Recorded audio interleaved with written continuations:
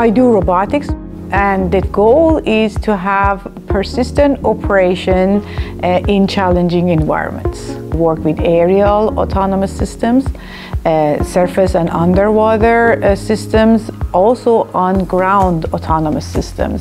The focus of this VRX competition is maritime robotics challenges, a set of tasks that everyone needs to accomplish and then they are ranked based on how well they did in each task. From basic waypoint uh, or pathfinding navigation to docking uh, to uh, you know landing a drone on the boat to shooting to a target. We try to design a controller that can do wayfinding, station keeping in this environment. We also develop image processor and some sensor fusion uh, strategy to localize obstacles.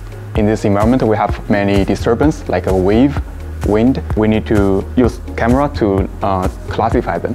And then we use LiDAR to localize them. We can change the position of all the sensors, the height, the position, or the angle. The way that this virtual competition works, it's very interesting. You send the package and send the codes, the competition board, they run the codes on their own computers on a new environment.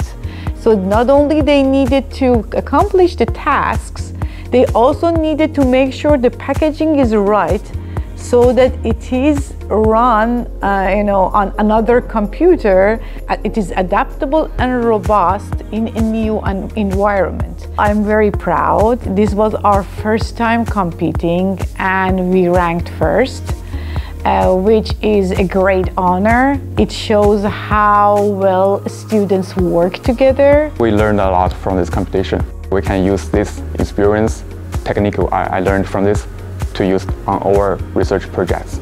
These are real problems and have real implications. It provided us confidence in our ability to tackle bigger challenges.